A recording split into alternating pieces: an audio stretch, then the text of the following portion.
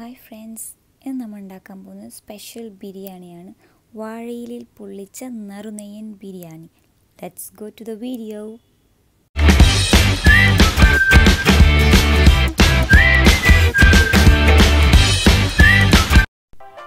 ബിരിയാണിക്ക് വേണ്ട ഇൻഗ്രീഡിയൻസ് രണ്ട് ഗ്ലാസ് ബസ്മതി റൈസ് വഴറ്റാനുള്ള സവാള പിന്നെ എന്റെ സ്റ്റഫായിട്ട് ഞാൻ ബീഫാണ് എടുത്തിരിക്കുന്നത്. ബീഫ് കറിയാണ്. അതിന്റെ ലിങ്ക് ഞാൻ ഡിസ്ക്രിപ്ഷൻ ബോക്സിൽ കൊടുക്കാം. പിന്നെ ഇഞ്ചി വെളുത്തുള്ളി ചതച്ചതാണ് എടുത്തിരിക്കുന്നത്. പേസ്റ്റല്ല ചതച്ചതാണ് എടുത്തിരിക്കുന്നത്. പിന്നെ ഒരു ചെറുനാരങ്ങ പട്ട ഗ്രാമ്പു ഏലക്കായ പച്ചമുളക് ഗാർണിഷിങ്ങിന് ആവശ്യമായിട്ടുള്ള കശുവണ്ടി കിസ്മിസ് പിന്നെ സവാള. ഇത്രയാണ് ഇതിന്റെ മെയിൻ ഇൻഗ്രീഡിയൻസ് പിന്നെ ഏറ്റവും ഇമ്പോർട്ടന്റ് ആയിട്ടുള്ളത് നെയ്യാണ്. അപ്പം ഞാൻ അമൂലിന്റെ നെയ്യാണ് എടുത്തിരിക്കുന്നത്. ഇനി നമുക്ക് ബിരിയാണി ഉണ്ടാക്കാൻ തുടങ്ങും. അപ്പോൾ അതിനായിട്ട് ഒരു മൂന്ന് സ്പൂണോളം നെയ്യ് നമുക്കൊരു പാത്രത്തിലോട്ട് ചേർത്ത് കൊടുക്കാം. അതിനുശേഷം കശുവണ്ടി ഇട്ട് നന്നായി ബ്രൗൺ നിറമാവുന്നത് വരെ നമുക്ക് വഴറ്റാം അതിനുശേഷം കിസ്മിസും ചേർക്കാം. അപ്പോൾ ഇത് ഗാർണിഷിങ്ങിന് വേണ്ടിയിട്ടാണ്. അപ്പോൾ നിങ്ങളുടെ അളവിനനുസരിച്ച് നിങ്ങൾ എത്ര അരി എടുക്കുന്നു അതിനനുസരിച്ചിട്ടൊക്കെ നിങ്ങൾക്ക് എടുക്കാവുന്നതാണ്. ഇതേപോലെ നമുക്ക് സവാളയും വറുത്തെടുക്കാം.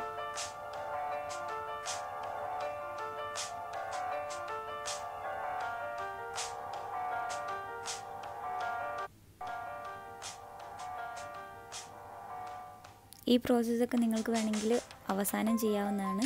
ഞാനിതെല്ലാം ആദ്യം തന്നെ ചെയ്തു എന്നേ ഉള്ളൂ.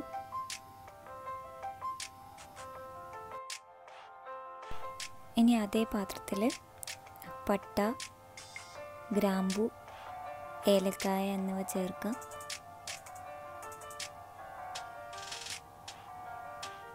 അതിനുശേഷം വഴട്ടാൻ ആവശ്യമുള്ള സവാള ഇട്ട് കൊടുക്കാം. അപ്പോൾ ഇത് ഞാൻ ഈ ബിരിയാണി ഉണ്ടാക്കുമ്പോൾ ഗീ റൈസ് വെക്കുന്ന മാതിരി ചെയ്യുന്നത് കേട്ടോ മസാലകളൊന്നും ചേർത്തുന്നില്ല. സവാള വഴണ്ടി വരുമ്പോൾ പച്ചമുളക് ചേർത്ത് കൊടുക്കാം.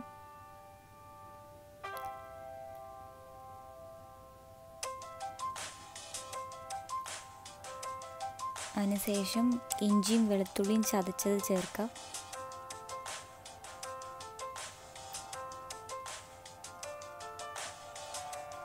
ഇനി വെള്ളമാണ്. വെള്ളം ഞാനിപ്പോൾ രണ്ട് ഗ്ലാസ് അരിയാണ് എടുത്തിരിക്കുന്നത്. അപ്പം നാല് ഗ്ലാസ് വെള്ളം നമുക്ക് ഇതിന് ആവശ്യമുണ്ട്. അപ്പം നമുക്കത് ഒഴിച്ചു കൊടുക്കാം. പിന്നെ മിന്റ് ലീവ്സാണ് ചേർക്കുന്നത്. പുതിന ഇലയുടെ ഒരു സ്പെഷ്യൽ സ്മെല്ലാണല്ലോ അപ്പോൾ അതുകൊണ്ട് അതാണ് ചേർക്കുന്നത്. പിന്നെ ഇതിനാവശ്യമുള്ള ഉപ്പ്. വെള്ളം നന്നായി തിളച്ച് വരുമ്പോൾ നമുക്ക് നാരങ്ങ നീര് ചേർത്ത് കൊടുക്കാം.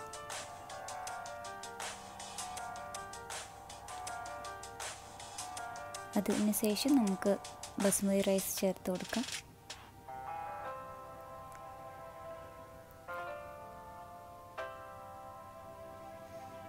എല്ലാം കൂടെ നന്നായി യോജിപ്പിക്കാം. സാധാരണ ഗീ റൈസ് വെക്കുന്ന മാതിരി തന്നെയാണിത്.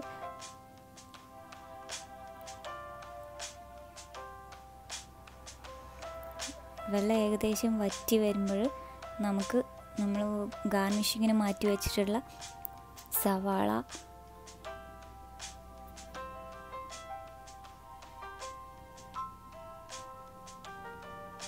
പിന്നെ നട്ട്സ് കിസ്മിസ് ഒക്കെ ചേർത്ത് കൊടുക്കാം.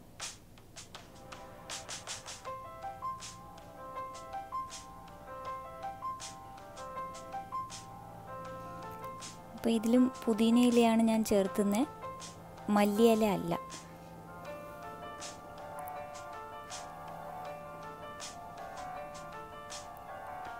അല്പം ചെറുനാരങ്ങ നീര്. ഈ സമയത്ത് വേണമെങ്കിൽ നിങ്ങൾക്ക് നെയ്യും ചേർത്താവുന്നതാണ്. ഞാൻ നെയ്യ് ചേർത്തില്ല. അതിനുശേഷം ഒരു അലുമിനിയം ഫോയിൽ വെച്ചിട്ട് നമുക്കത് കവർ ചെയ്ത് കൊടുക്കാം. ഈ ബിരിയാണിയിലുള്ള വെള്ളം മുഴുവൻ വറ്റിപ്പോകാൻ വേണ്ടിയിട്ടാണ് ഇങ്ങനെ ചെയ്യുന്നത്. അല്ലെങ്കിൽ നമ്മൾ വാഴയിലയിൽ പൊള്ളിക്കുമ്പോൾ ബിരിയാണി കുഴഞ്ഞു പോകാൻ ചാൻസ് ഉണ്ട്. ഇപ്പോൾ ഒരു അഞ്ച് മിനിറ്റോളം ഇങ്ങനെ നമുക്കിത്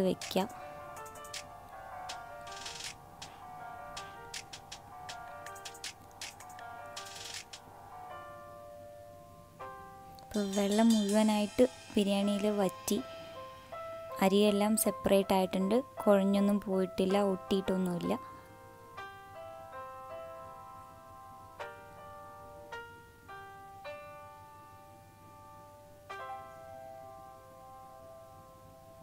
ഇനി ഒരു വാഴയിലയിൽ നമുക്ക് ആ നമ്മൾ ഉണ്ടാക്കി വെച്ചിരിക്കുന്ന റൈസ് നമുക്ക് വെച്ച് കൊടുക്കാം.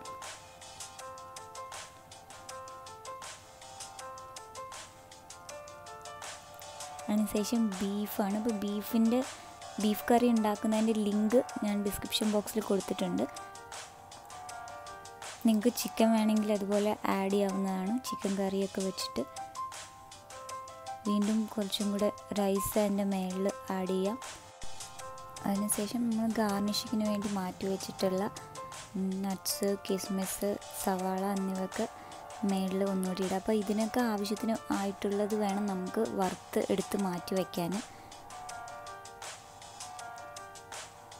പിന്നെ ഒരു മുട്ട. ഇത് ഓപ്ഷണലാണ് ഞാൻ ഒരു ഭംഗിക്ക് വേണ്ടി വെച്ചു എന്നേ ഉള്ളൂ. പിന്നെ നെയ്യ്. നെയ്യ് ഇവിടെ മറക്കാതെ ചേർത്തണം. അപ്പോൾ കന എങ്കിൽ പൊള്ളിച്ച് വരുമ്പോൾ അതിന്റെ ടേസ്റ്റൊക്കെ നമുക്ക് കിട്ടത്തുള്ളൂ. അപ്പോൾ നെയ്യ് നമ്മൾ രണ്ട് സ്പൂണോളം ചേർത്തിട്ടുണ്ട്. നിങ്ങളുടെ ആവശ്യാനുസരണം നിങ്ങൾക്ക് കൂട്ടി കുറയ്ക്കുകയൊക്കെ ചെയ്യാം. എന്നിട്ട് വാഴല നമുക്ക് പൊതിച്ചോറൊക്കെ കിട്ടുന്നത് പോലെ നമുക്ക് മടക്കി പൊതിയാക്കി എടുക്കാം അപ്പോൾ വാഴല ഇതുപോലെ കിട്ടുന്നതിന് മുമ്പ് ഒന്ന് വാട്ടിയെടുക്കണം. ഗ്യാസിലോ അല്ലെങ്കിൽ നിങ്ങൾ വേറെ അടുപ്പിലൊക്കെ ചെയ്യുകയാണെന്ന് വെച്ചാൽ അതിൽ ചെറുതായിട്ടൊന്ന് വാട്ടിയെടുക്കാൻ മറക്കരുത്. അല്ലെങ്കിൽ ഇങ്ങനെ പൊതി കെട്ടുന്ന സമയത്ത് വാഴയില പൊട്ടിപ്പോവാനുള്ള ചാൻസ് ഉണ്ട്.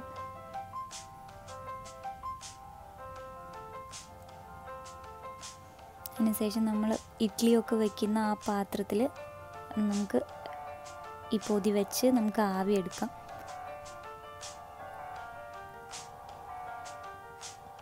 ഒരു പത്ത് മിനിറ്റോളം വെച്ചാൽ മതിയാവും. വെള്ളം ഓൾറെഡി തിളപ്പിക്കാൻ വെച്ചതായിരുന്നു അതിനകത്തുള്ളത്. അപ്പോൾ അതുകൊണ്ട് വേഗം ആയിട്ടുണ്ടാകും പിന്നെ നമ്മുടെ റൈസും വേഗം മുമ്പേ വെന്തിട്ടുള്ളതാണല്ലോ. അപ്പോൾ അത് കാരണം അധികം നേരം വെക്കേണ്ട കാര്യമൊന്നുമില്ല. അപ്പോൾ നമ്മുടെ നറുനെയ്യൻ ബിരിയാണി റെഡിയാണ്. നല്ലൊരു സ്പെഷ്യൽ മണമാണ് ഇത് ഓപ്പൺ ചെയ്യുന്ന സമയത്ത്. കാരണം വാഴയിലയിൽ പൊള്ളിച്ചത് കാരണം തന്നെ വെറൈറ്റി ടേസ്റ്റാണ് അപ്പോൾ എല്ലാവരും ഇത് ട്രൈ ചെയ്ത് നോക്കണം. ഭയങ്കര ടേസ്റ്റാണ്